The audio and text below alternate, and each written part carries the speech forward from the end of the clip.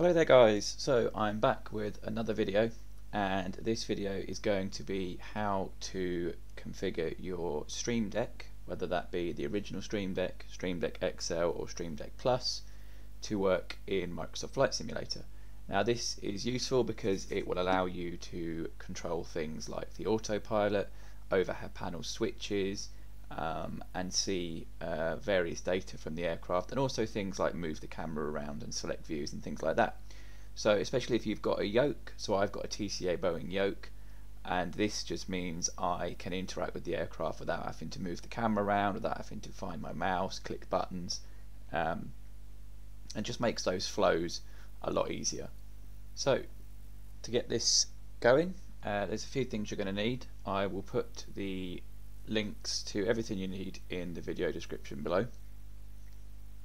So first things first, you're going to need this bit of software called Axis and Ohs. Now this is a paid bit of software. It's around, I think around 20 euros on Sim Market. There is a free version, so you can download the free version, follow along, and just make sure that everything works before you drop the money on the paid version but you will need to get the paid version for this to work um, because the trial version I think is time limited. Yeah so shuts down after 20 minutes. So you need to download this or if you're confident that it's going to work from the video then by all means um, purchase it and get that downloaded. I'm not going to do it because um, I already have but go through Sim Market purchase it and you'll get a download for Microsoft Flight Simulator uh, which will look a bit like this up here. So I've got the download here on my desktop. Run that and install it, and you will end up with an icon on the desktop here. Um, if not, and you only have it in the start menu, then you'll have to just move it onto your desktop. One thing you want to do straight away is right click, go to properties, go to compatibility, change for all users, and you want to click run this program as administrator so that every time you run it you don't have to do right click run as administrator. So that's that installed. Next thing you're going to need is the Stream Deck plugin for Axis and Ohs which allows you to map Axis and Ohs functionality to the buttons and knobs on your Stream Deck. On this page same page downloads page if you scroll down you'll see here plugin for the Stream Deck. I've actually just downloaded this and updated it because I was on a slightly older version. And you can see some screenshots there of the kind of data that it allows you to present to the Stream Deck. So download that. Again just run the installer. Um, in fact you don't even have to run the installer. So you download like this you'll get this uh, Stream Deck plugin double click this, it will open in the Stream Deck app and say it's installed. Obviously you have to have the Stream Deck software installed on your computer, but sort of that's a kind of a prereq to this because if you've got a Stream Deck and you're already using it, you're going to have that software. If not, you'll need to download and install the Stream Deck software. Uh, I can put a link to that in the description as well. So, you've got your Axis and Ohs installed, you've got your Stream Deck plugin installed. So now you need to get some profiles for your aircraft. So I've got a few. In fact, if I bring up my Stream Deck, I've got uh, all of mine here. So 737, 787, fly-by-wire, um, the A310, and air traffic control, uh, wind and weather, that sort of thing. And then on my Plus, I've got a flight sim, 737, 87, 310. You get the idea. Down here, and there's a little preview there. I've got a nice little aircraft selection screen. So where do you get the profiles from? Once again, I'll put a link in the description to flightsim.to and they've got a nice little Stream Deck uh, section with all the Stream Deck plugins. I always think it's handy to have new, either have it by recent releases, as you can see there's actually a profile already for the PC12, um, or new updates. So I'm going to follow along with you guys on this one because there is actually an update to the PMDG 737 for Stream Deck XL and Plus. You can see some screenshots there of all the different pages. Um, I actually already have this installed. It looks like that on my Plus and it looks like that on my XL. You'll notice that a lot of these, so these start switches are all blank that will become uh, clear a bit later on. So what I'm going to do is say for example you wanted the 737 go and download the file. Obviously I'm going to get an update because I've already got it. So we'll just wait for that to count down and get that downloaded. Not a robot. Start the download and there we go. I'm not going to update my Stream Deck Plus profile because I've customized it a little bit and I, I don't have any I don't have any need to uh, oh what did I do there? I don't have any need to update it. That went well. Let's try that again. I definitely just accidentally deleted the download. That's better. Right open the download. So I'm not going to as I say I'm not going to update the one for my Stream Deck Plus because I just don't want to ruin it. What I am going to do is uh, update for my non-plus so this PMDG 737 here. So I'm going to double click.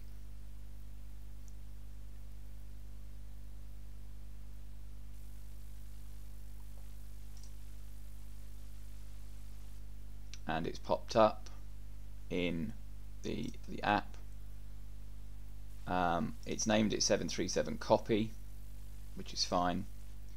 Um, and out of interest let's have a look at my original one yeah see there's a lot more pages at the bottom rather than having rather than having folders. Interesting. So that ah so it just moves you around the pages. Okay. Maybe I will use this one. I'll have to see how I feel about it uh, in flight. But obviously what's useful is that it's named it copy so I can go in here and I can name this you know PMDG 737 updated maybe move it sort of there.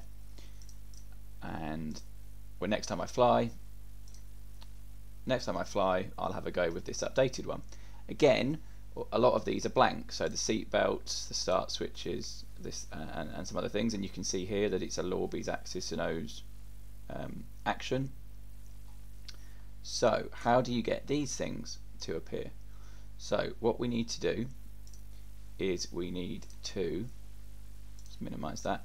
So we need to launch uh, axis and Ohs. Now I think because of how I've got this set uh, it's going to launch Microsoft Flight Simulator which isn't very helpful as I'm screen recording but let's see what happens. So if I double click that.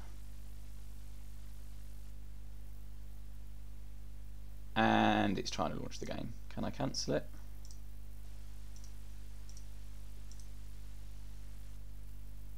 Obviously you won't have to do this because it won't launch your game. That's better. Right so that that happened because under application I've got uh, start simulator. Um, I might actually turn that off you know because it's actually really unhelpful.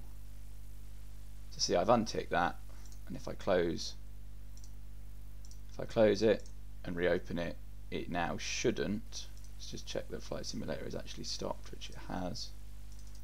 Run that again. Yeah so it hasn't launched the sim. So axis and Ohs now we don't need to do anything with this. You want to click application and you want to ensure that uh, MSFS Sim Update 12 LVAR processing is enabled as well as uh, LVAR hook linked and network sim connect. I think these were all default but just it never hurts to check.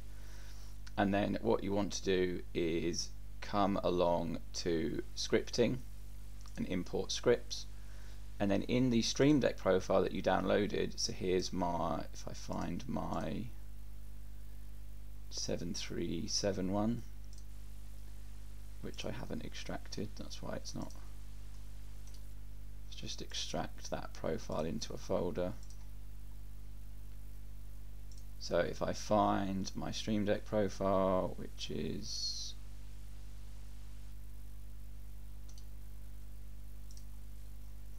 which is somewhere. Why is that not showing up?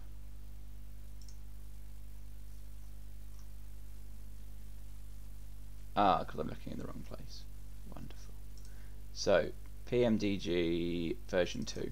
So in here, there's an XML file, Axis and O scripts. So you want to double click, tick the box, and tick import. I'm not going to do it because I've already done it.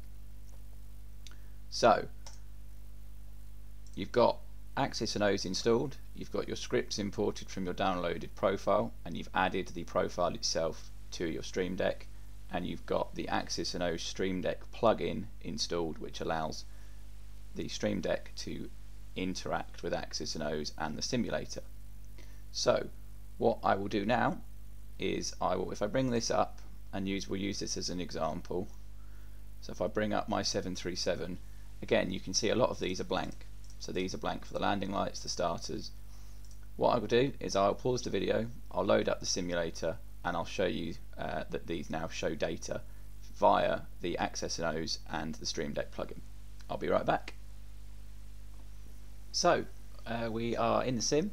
Um, I've just loaded up uh, at Gatwick, nice and simple. And you will notice now if I bring up my Stream Deck, if I go to my 737 profile, you'll notice that all those switches that were blank have now come to life. So for example, these ones here for the landing lights. Now this aircraft only has one set of landing lights, as you can see here. So if I bring up the Stream Deck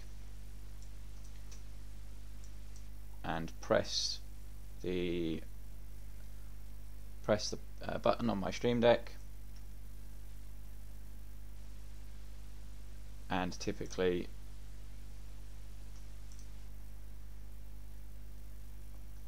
I've clicked the one that doesn't work. There we go. Lights on and lights are off. And again, you see the switch moving there and the light switch moving. Same with the runway turn off, same with the taxi light.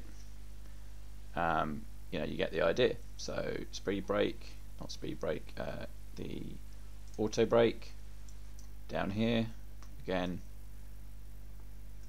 and it updates to tell you where it's at. So off, one, two, three, max, etc. If I then pop over to my Stream Deck Plus, and again load the profile and go to autopilot. Now, the normal profile doesn't look like this. I copied these images from a different profile just because I thought they looked nicer. Um, but again, if I spin this, you can see that the speed window spins same with the heading, same with the altitude. Flight director switches, auto throttle arm switches, all works as it should. So there you have it. That is how you connect your Stream Deck to work with Microsoft Flight Simulator. Obviously there are profiles for other aircraft, um, the fly-by-wire, the Fenix. The process is the same. You still have to just import the profile and import the scripts file into Axis and Ohs and you should be good to go. Thank you guys for watching. Um, if you've got any questions, be sure to leave them in the comments. If you've liked the video, then please do give it a thumbs up and subscribe if you want more content like this. I do have another flight video uh, on the way that I'm planning. In fact, I've got two uh, ideas that I'm planning for. Um, so stay tuned for those, and I'll see you in the next one. Bye for now.